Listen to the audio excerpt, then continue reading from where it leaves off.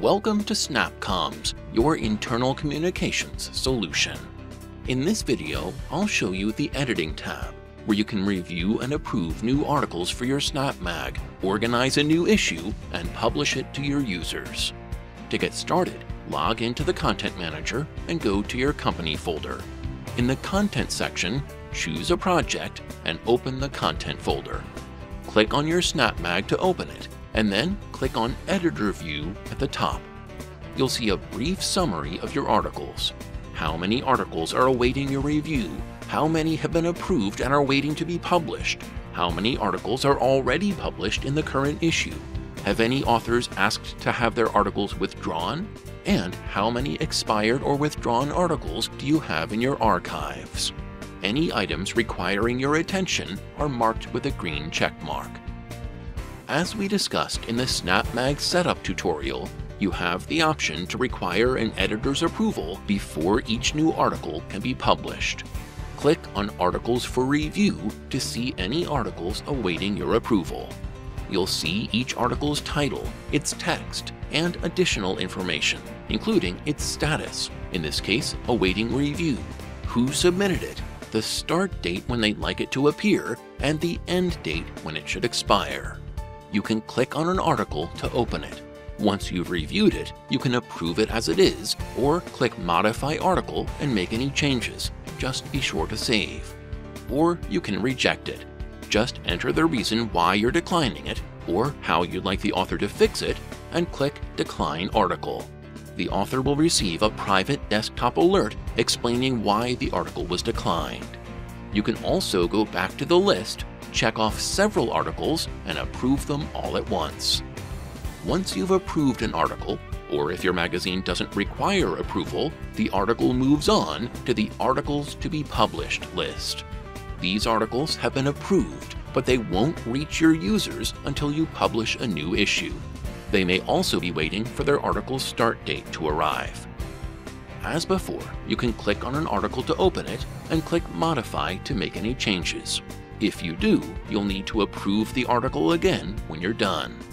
You can also create a copy of the article, for instance, so you can publish the current version while you start working on an update. Or you can withdraw the article to remove it from the next issue. Once you've reviewed and approved any new articles, it's time to manage your layout. Just go to the Article Ordering tab.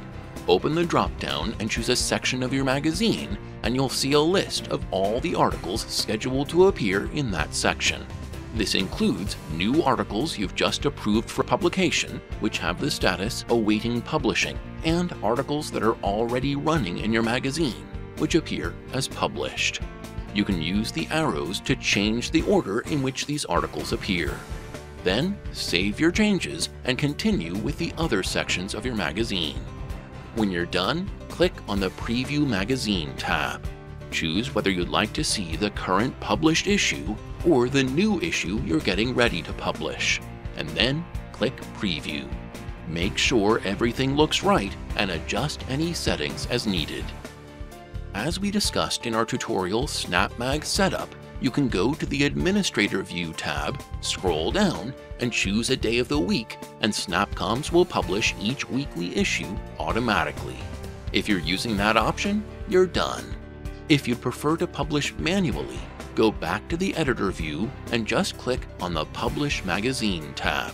Choose Normal to scroll an announcement about your new issue across each user's screen they'll click on the announcement to read your new issue, including your new articles. You can also choose to publish your magazine silently without scrolling anything. This option is particularly useful if you're publishing a minor correction. Users won't even know you've made any changes. But when they open their message history window and click on your magazine, they'll find the new corrected version. Once your new issue is published, manually or automatically, any newly published articles will move from the Articles to be Published section to the Articles Published section. These are the articles that appear in your current issue, the ones your users can read right now. Again, you can review your list and open an article. If you withdraw an article at this point, it will remain in the current issue, but will be automatically removed the next time you publish your magazine.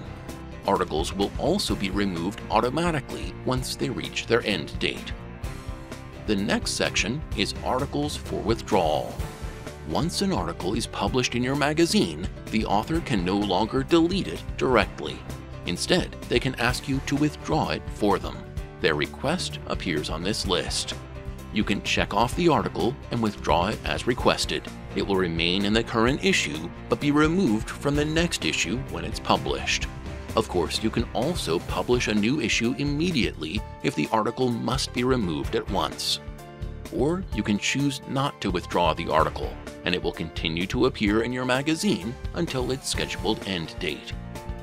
When an article reaches its end date or is withdrawn, it moves to the last category, archived articles. These are all the articles that have been published in your magazine in the past, but no longer appear in your current issue. Thanks for watching. To learn more, please visit our knowledge base at support.snapcomms.com or just visit www.snapcomms.com.